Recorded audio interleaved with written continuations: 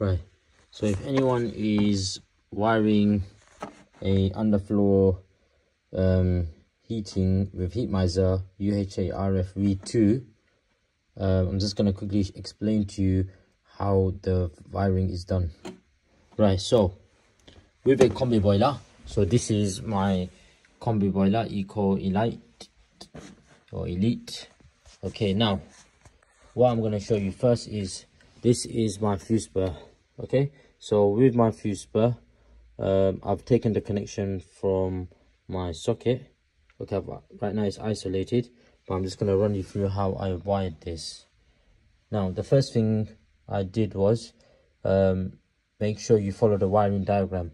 Uh, i'll put the wiring diagram on the um, video um, as a snap so you can see it.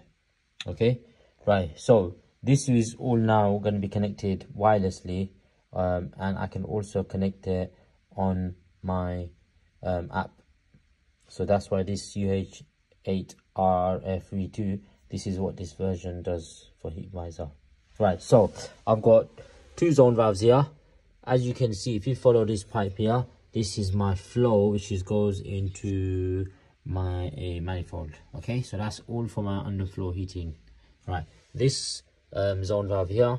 Is going to my radiators and it's all going upstairs. So these two are connected separately. Okay?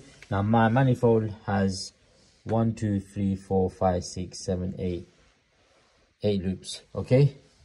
Three for my kitchen two for my middle room two for my front room and one for my passage. Okay?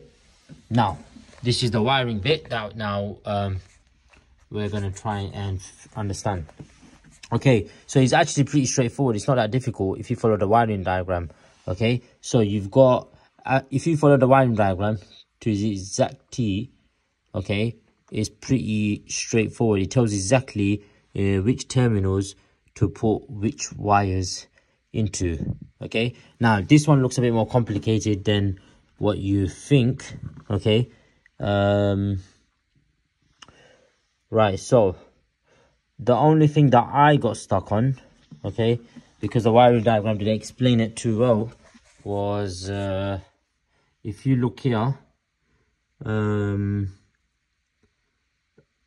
my common okay um so this common here okay which is um, connected to the main live that is coming into the circuit okay so this is as you can see if just zoom underneath. So you can see look as you can see it's the common terminal here. It is brown wire. Is connected to the main live terminal of the connector block. Okay? That was the first thing which i was uh, which wasn't clear in the wiring diagram.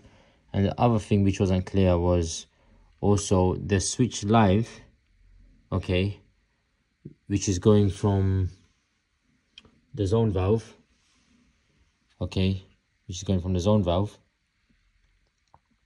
Okay that also needs to be um, connected as well.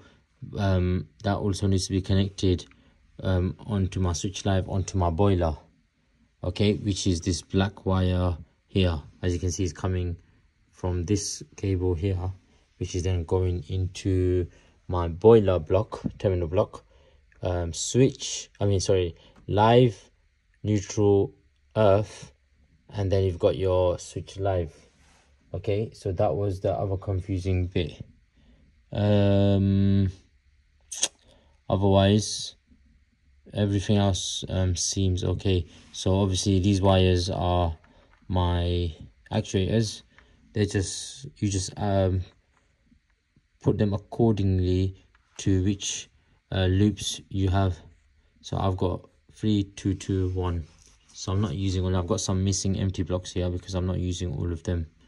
Um, so you can see these are pretty straightforward just live and earth. I mean live and neutral. That's pretty straightforward.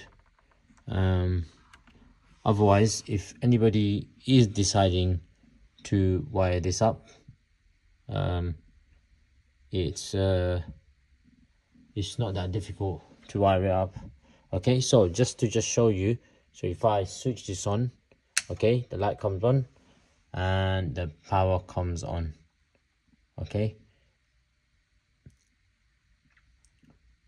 I'm just to switch it off. If anyone's not sure, post me a message and I can maybe answer your questions if you're unsure.